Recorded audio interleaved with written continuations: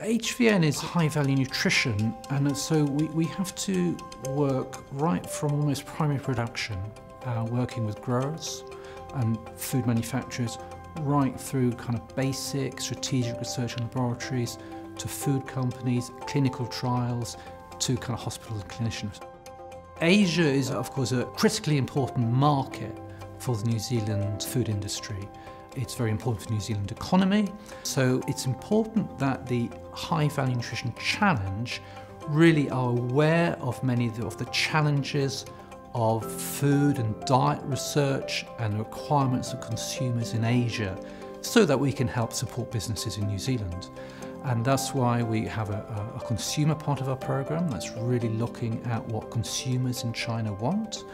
We work on aspects of both the important similarities and also differences in, in Asian consumers in terms of their metabolic physiology compared to Caucasians and such like.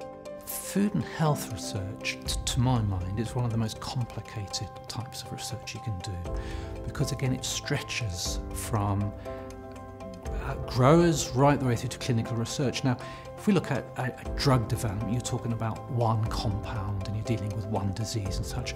Food is such complex. It consists of a myriad of chemicals and stuff that we're all eating every day and they're all having very complicated physiological effects.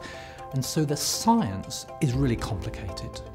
And what is really great about the high value nutrition is that it's supporting business, but it's doing really high quality science and a very complicated type of science. And we're using all the cutting edge technologies. So in addition to supporting business, I think we're making progress in the actual science, which we're sharing with the world.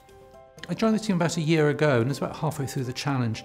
And I think what has really impressed me is that we have what we call the priority research programs. And these are six international quality scientists working in different areas. What has really impressed me over this year is how we've all come together and they're working really well together and there's a lot of added value to be had. When you're dealing with issues like we are in developing new foods with added health benefits, you need that longer term programme. So I think it's huge credit to the New Zealand government to have the foresight to be funding in this nature.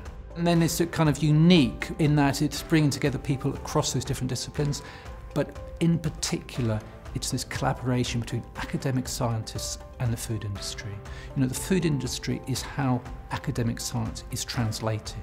I think unless we work closely with industry, we won't get our really high quality science translated to the benefit of consumers in New Zealand and to the benefit of New Zealand food and beverages businesses for the export and hence to benefit for consumers elsewhere in the world.